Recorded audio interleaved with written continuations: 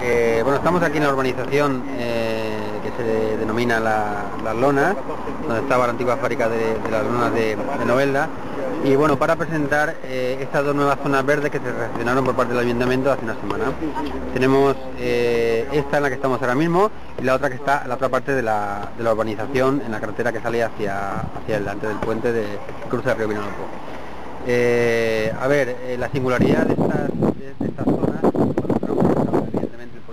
el proyecto de urbanización y lo primero que hicimos fue ponernos en contacto con el, promotor al ver el proyecto de, la vía de ejecución de la zona verde del parque concreto y, bueno después de ver el proyecto eh, sentarnos a hablar con el promotor vimos interesante la realidad.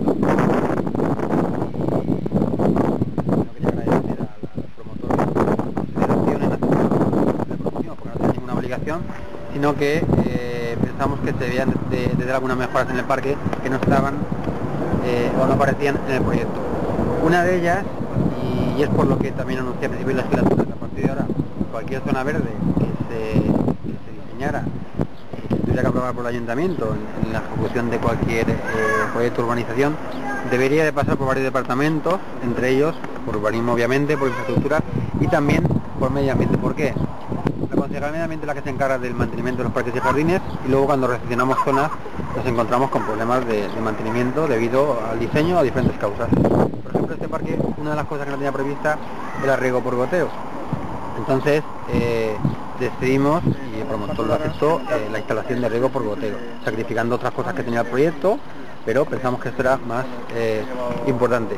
También se cambiaron los juegos infantiles que habían previsto en el proyecto y se pusieron, bueno, lo veis aquí detrás de mí y los que hay en la otra zona, que son juegos más amplios y más grandes.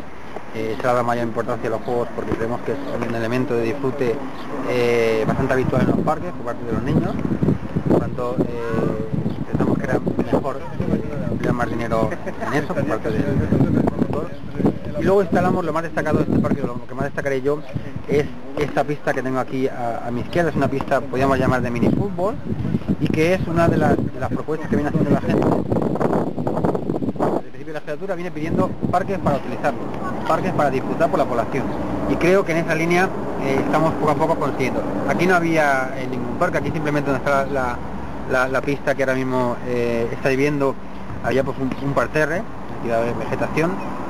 Hemos querido sustituir eso para dar una, una alternativa a la gente, a los chavales. Ahora mismo hay tres chicos aquí a las 10 de la mañana jugando. Y no queríamos hacer una pista de fútbol reglamentaria ni nada, queríamos dar un espacio vallado y no queríamos tampoco poner unas porterías grandes que, pudiera dar opción a, no sé, a gente más mayor a empezar a pegar pelotazos y crear problemas entre la gente que viniera. Al parque, sino unas pistas pequeñas y una portería pequeña de, de minifútbol. ¿no? Por tanto, creo que eh, la concejalía está trabajando en la línea adecuada en el diseño de, parques y en la medida de las posibilidades de este parque, pues nada, hemos podido pues eh, cambiar cambiar alguna cosa eh, y por otras y bueno creo que se ha quedado un parque eh, bastante bastante decente bastante arreglado y, bueno el, único eh, inconveniente que ha habido que se ha tratado en reaccionar pues ya no es por un problema de, la concejalía sino por temas de la luz por temas urbanísticos y tal. Tarda un poquito más de lo, de lo deseable en reaccionar este parque pero bueno en cualquier caso la ciudad de Novela tiene ya hoy dos zonas verdes más para poder disfrutar y creo bueno que otro día estamos eh, hablando con, técnicos y gente de otra población, Novela creo que cuenta con una, gran eh, una gran zona, grandes zonas verdes, bastantes zonas verdes y creo que bueno eso se nota y se agradece por parte de la población. también recordar que estamos se está construyendo otra zona verde dentro del proyecto de programa de obra y servicio de diputación detrás de la gasolina, por tanto eh, se van creando cada día más infraestructuras para para el disfrute de la, población. Mm. Salva, el parque eh, situado en el eh, barrio de la Vereda, que lleva retraso, ¿cómo, cómo está a esta hora ese parque? Pues venimos de visitarlo allí. Eh, este parque ya haremos la convocatoria oficial, pero se inaugurará el fin de semana, fin de semana que viene, con toda seguridad. Y no ha llevado ningún retraso especial.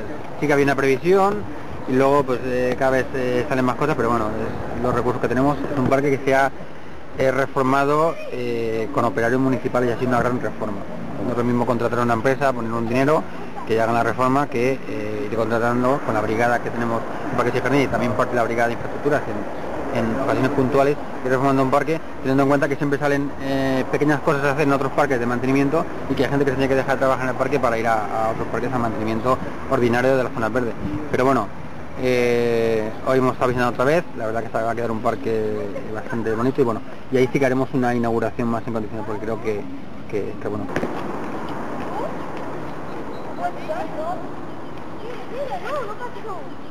Mire, no, no pasó. Mire.